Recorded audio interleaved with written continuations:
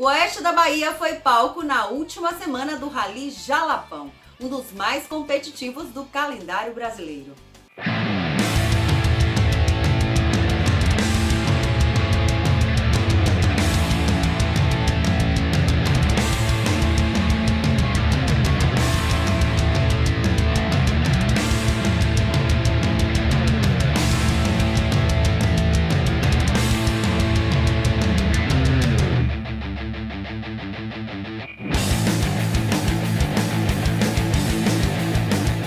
Após três etapas, terminou no último final de semana o sexto Rally Jalapão com uma bela disputa na prova final no oeste da Bahia. Foram aproximadamente 1.200 quilômetros em estradas e trilhas de fazendas particulares, contando com 718 quilômetros divididos em quatro especiais.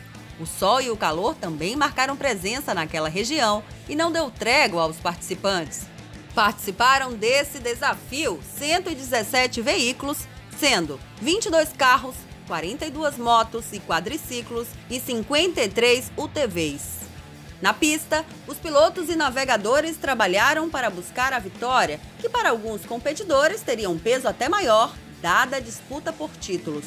No geral, entre as motos, uma reviravolta. Adrien Metz superou Gregório Castellani no último dia de disputas, que contou com 333 quilômetros, sendo 163 quilômetros de trecho cronometrado. Adrien venceu com tempo de 8 horas 4 minutos e 18 segundos, levando também o título da competição na categoria MT1. O companheiro na equipe Yamaha, Ricardo Martins, ficou com a terceira posição no pódio. Na categoria UTV, os campeões foram Bruno Varela e Gustavo Bortolanza. Eles concluíram a prova com três vitórias consecutivas e somaram no acumulado 8 horas, 8 minutos e 15 segundos, ficando com 5 minutos e 40 segundos na frente de Reinaldo e Gugelmin, os segundos colocados. Dobradinha para o Giafone Racing a bordo dos bugs V8 da equipe. José Hélio Rodrigues, Iveidner Moreira e Marcelo Gastaldi e Lorival Roldan primeiro e segundo lugares no pódio da categoria carros. José Hélio e Weidner computaram três vitórias consecutivas e a cada dia abriam vantagem para os demais concorrentes, completando com um tempo de 7 horas 42 minutos e 11 segundos a 22 minutos e 37 segundos do segundo colocado.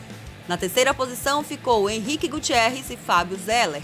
Pedro Henrique Teixeira levou o título nos quadriciclos, o Rally Jalapão é uma realização de Arena Promoções e Evento com supervisão da CBM, Confederação Brasileira de Motociclismo, e CBA, Confederação Brasileira de Automobilismo.